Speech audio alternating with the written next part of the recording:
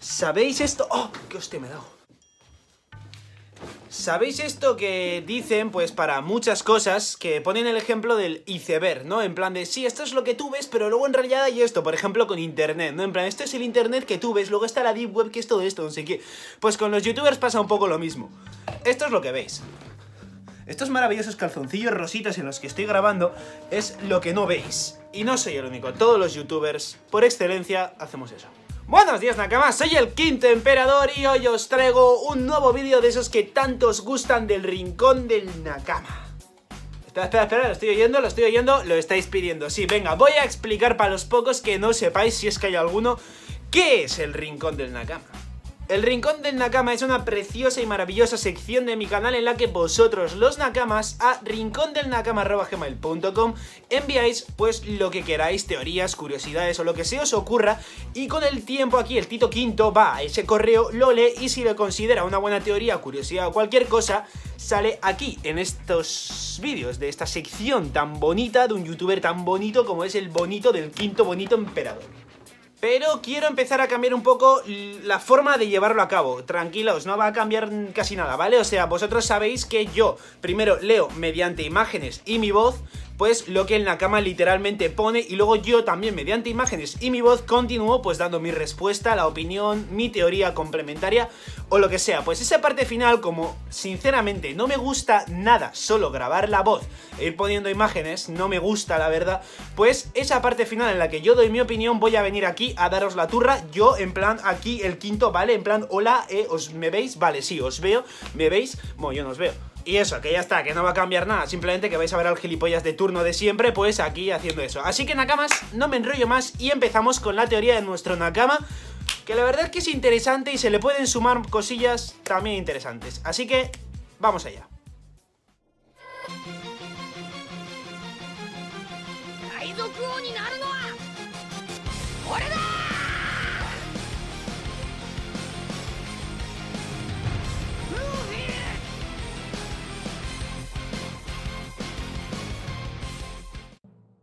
Buenas Quinto, soy Juan, aunque me conocen como House, de Madrid y tengo esta teoría que puede ser muy interesante. Ahora que ha salido el último capítulo del manga y hemos visto finalmente al Shogun de Wano, creo que no podemos negar que todos salimos decepcionados. Hemos visto que acertó a un miembro del CP0, así que no es ningún mierdas, pero yo creo que es posible que él no sea el auténtico Shogun. Es posible que el Shogun original sea el hombre misterioso de la celda, que al estar en contra del derrocamiento de los Kozuki fue encerrado para que no hablase. Como vimos, el Shogun actual usa como primer argumento para decir que no podrán derrotar a Wano el hecho de que Kaido esté ahí, y a mi parecer un Shogun debería ser un samurái orgulloso tanto de su propia fuerza como del poder de los samuráis, soldados valientes y hábiles que nunca retroceden. Es posible que este sea un habitante de Guano que ansiaba poder y riquezas y por ello se unió a Kaido. Además, esto se puede potenciar. Es posible que el favor que le debe Kaido a Big Mom sea el poder de Pudding, en concreto el hecho de que lo usara para que la gente de Wano creyese que ese es el auténtico Shogun. Además de que este Shogun tiene una fruta del diablo, que no me parece una smiley, pero que si lo fuese sería incluso un apoyo a esta teoría, ya que veríamos que necesita el poder de una fruta del diablo o incluso una smiley, siendo esta una fruta artificial, cosa que un auténtico samurái dedicado en cuerpo y alma al arte de la espada dudo que consuma, ya que esto sería demostrar que necesita un poder ajeno al suyo propio. Recordemos que por ejemplo Kinemon no sabía lo que es una fruta del diablo, por lo que la comió sin saberlo. Sin embargo, mucha casualidad me parece que el Shogun tenga una fruta o smile tipo Zoan, aparentemente muy poderosa estando aliado con un Yonkou con una tripulación del tipo Zoan. Además, que el hecho de que lleve esa corona puede deberse a que antes vivía en la pobreza, siendo así el rival del falso Shogun el auténtico. También podría serlo Zoro, pero al igual que muchos, creo que él se enfrentará a King, que parece ser un espadachín, Sanji a Queen, ya que aparte de parecer un Okama y saber el rencor que Sanji les tiene, es el encargado de las torturas, por lo que es probable que también él se encargue de que los prisioneros no sean bien alimentados, lo que enfurecería mucho a Sanji, y quizás Chopper se enfrentase a Jack a modo de venganza por lo de Zou, al ser Chopper un doctor y odiar a Jack por usar el veneno. Además, Soda podría meter aquí, si no, el despertar de Chopper, un estado similar a este, cosa que necesitará para enfrentar a Jack. por lo que el shogun ayudaría a los Mugiwaras, no por ayudarles como tal, sino porque ellos serán de gran ayuda para derrocar a Kaido, al falso shogun y recuperar así el Wano próspero que un día fue dando una batalla entre un auténtico samurái y un impostor ansioso de poder, cayendo derrotado este último y consiguiendo de nuevo un país de Wano en el que la gente viva en igualdad de condiciones. Y aquí terminaría la teoría de nuestro Nakama House. La verdad es que a mí personalmente me parece una teoría atractiva, de estas que dices... Es difícil que pase, pero por si acaso no vaya a ser que a Oda le pase algo por ahí, nos lo cuele, con lo que no la descartamos. También es típica teoría que puede ser que pase algo del estilo, es decir, que no sea el auténtico Shogun, pero que tampoco el Shogun original sea el preso, es decir, algo pues así como que acierte, acierte a medias, suele pasar.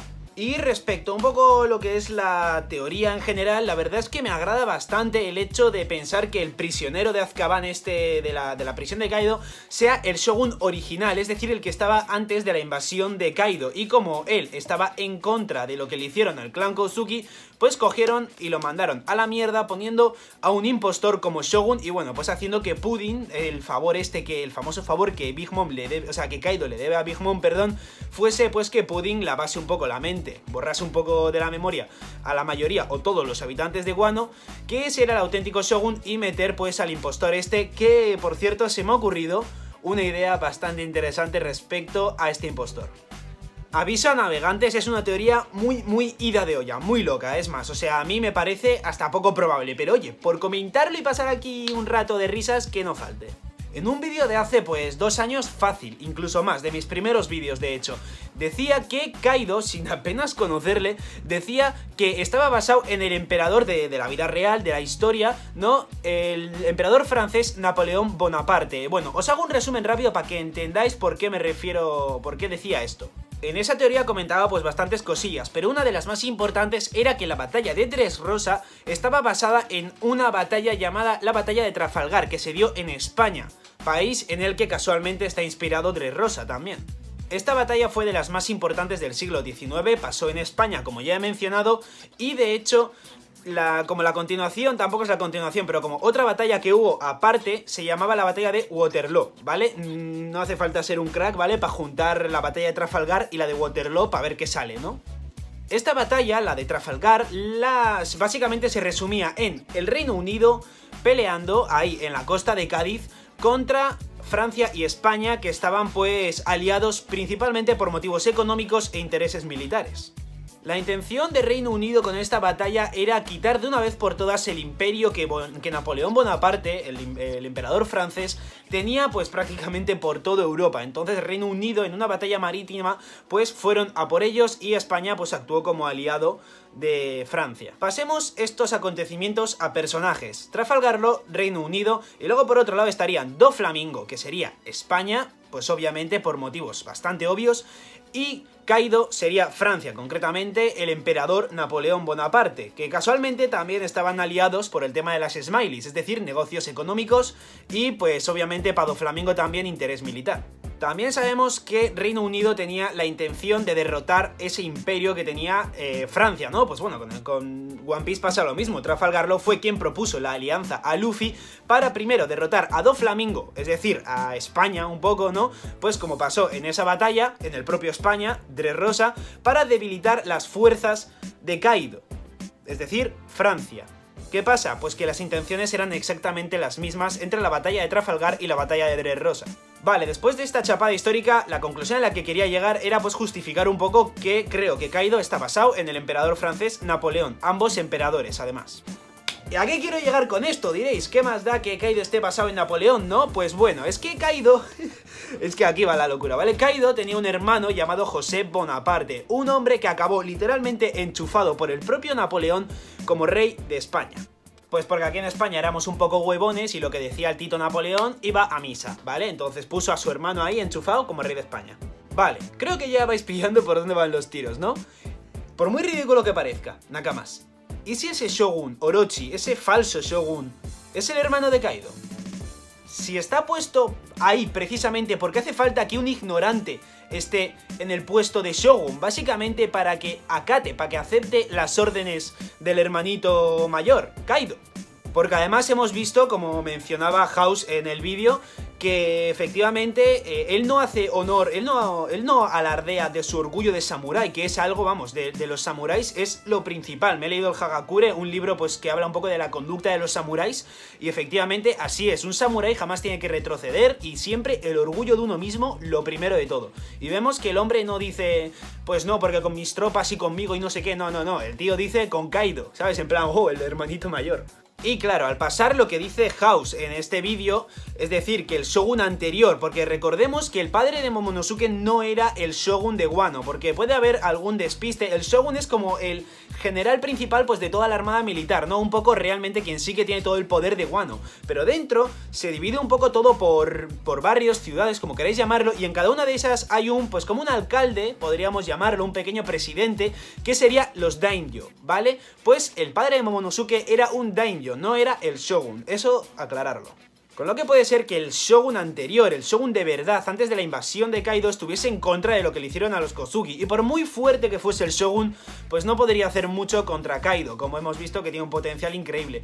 Y puede ser por ello que lo encerraran eh, en la prisión que está actualmente, que de hecho remarcan que es un criminal súper peligroso. Y si tienen a personajes como Luffy y Keith, ya considerablemente bastante peligrosos, los tienen bastante a libre albedrío, digamos, por dentro de la prisión, ¿cómo tiene que ser ese tío para que simplemente le den de comer pescado envenenado y no muera sin espinas, además, porque si no pasa lo que ya vimos, y que le consideren de alto riesgo. ¿Qué potencial tiene que tener ese hombre? La verdad es que es increíble y sinceramente ojalá estés en lo cierto y ese sea el Shogun auténtico. Sinceramente, no es una teoría que me convenza al 100%, obviamente, pero es lo que he dicho al principio de cuando hemos terminado esta teoría, ¿vale? Vamos a dejarlo ahí por si acaso, no vaya a ser que luego nos demos una sorpresa.